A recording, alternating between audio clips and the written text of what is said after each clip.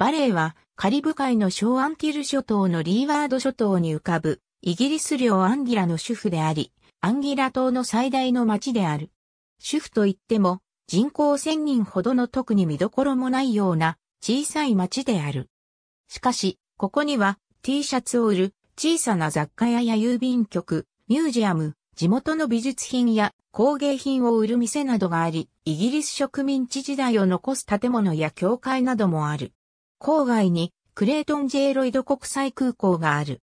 1787年に作られたウォールブレイクハウスはアンギラ島で最も古いプランテーション農園の大邸宅の一つである。しかし、1796年11月フランスの艦隊がバレーとサウスヒルのアンギラ島の主要な村を侵攻及び攻撃した。バレーにあるウォールブレイクハウスも攻撃された。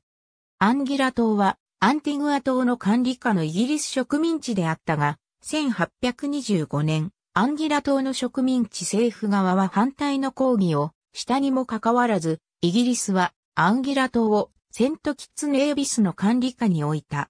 イギリスはほとんどすべてのアンギラ島のバレーの行政などの主権をセントキッツ島のバセテールに置いたため、イギリスはバレーにあった重要な植民地建造物など、ほとんど取り壊した。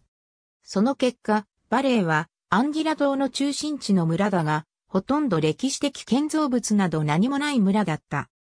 1980年にアンギラは独立を主張するセントキッツネイビースから正式に分離され、イギリス自治領に止まると、バレーは再びアンギラの主婦となった。